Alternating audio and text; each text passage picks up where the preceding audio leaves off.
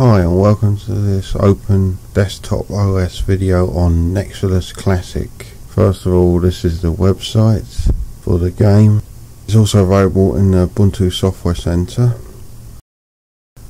This is the new site for the commercial remake of the game available on Steam and Xbox and PlayStation. Right, let's start the game.